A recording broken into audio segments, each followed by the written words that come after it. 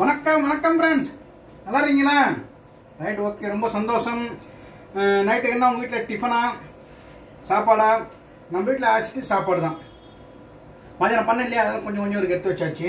ஒரு நிமிஷம் இருங்க. சாப்பாடு ஆயிடுச்சு.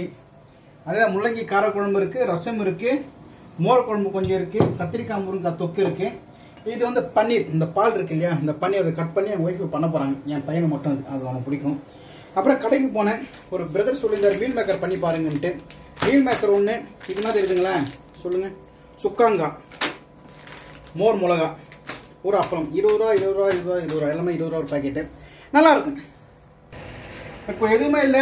ரசம் இருந்துச்சுன்னு வச்சுக்கோங்க. சுக்காங்கா. சுக்காங்காலாம் சொல்லுவாங்க நினைக்கிறேன். கரெக்டாக தெரியல. சுண்டக்காய் கிடையாது. சுக்காங்க. அது ஒரு டேஸ்ட் சாப்பிட்டா அது ஒரு டேஸ்ட்டாக இருக்கும். சிம்பிள் அப்பளம் வறுத்து வச்சுருக்கேன். அப்பளம் காமிச்சனா இல்லையா உங்களுக்கு? அப்பளம் வறுத்து வச்சிட்டேன். பெரிய பெரிய அப்பளம். அவ்வளோதான் வேலை முடிஞ்சு போச்சு. ஆனால் நைட்டு சாப்பாடு சாப்பிடக்கூடாது தான் குக்கர் சாப்பாடு சாப்பிடக்கூடாது தான் பழகிடுச்சேன் வடித்த சோறு வந்து மதியானத்துக்கு நல்லா இருக்கு. ஆஹ் உதிரியாக இருக்குது ஆனால் சூடாக சாப்பிட்றது தான் குக்கர் சோறு தான் இப்போ குழம்பு ஊற்றினாலும் சரி சாம்பார் ஊற்றினாலும் சரி சாப்பிட்றப்ப நல்லா குழ குழம்பு இருக்கும். அது ஒரு டேஸ்ட்டாக இருக்கும். வடிச்ச சோறு வந்து சூடாக சாப்பிட்டா ட்ரையாக இருக்கிற மாதிரி இருக்கும். குழம்பு ஊற்றினா கூட சாப்பாட்டில் குழம்பு ஒட்டாது. நான் சொல்கிறது கரெக்டு தானே? ஸோ குக்கர் சாப்பாடு உடம்பு கெடுதியாக இருந்தாலும் சில பேர் ஒத்துக்கும் சில பேர் ஒத்துக்காது. நான் கிட்டத்தட்ட எனக்கு தெரிஞ்சு எங்கள் அம்மா காலத்துலேருந்து இப்போது வரைக்கும் நான் குக்கர் சாப்பாடு தான் சாப்பிட்றேன். நோ சுகர் நோ பிபி எதுவுமே கிடையாது. நான் தொப்பை மட்டும்தான் இருக்குது அது இப்போ தான் லேட்டஸ்ட்டாக வந்துச்சு காலேஜ் படிக்கிறப்பெல்லாம் ஒல்லியாக தான் இருந்தேன்.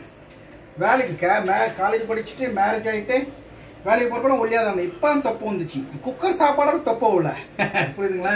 சும்மா உட்காந்து உட்காந்தே வேலை செஞ்சுருந்தா அப்படியே தொப்பை விடும் அது வாக்கிங் போயிட்டு இருக்கேன். பார்க்கலாம் குறையதா இல்லையான்ட்டு. ஓகேவா சாப்பிடுங்க. கீழே அப்பாவுக்கு பால் சாதம் சாரி ரச சாதமும் அப்பளமும் கேட்டார். கொடுத்துட்டு அந்த கதையை கண்டினியூ பண்ணுறேன் சனி சனி பாதிப்பு இருக்கிறவங்களுக்கு என்ன பண்ணணுன்ற நான் சொல்கிறேன் ஓகேவா கீழே போலாம் வாங்க.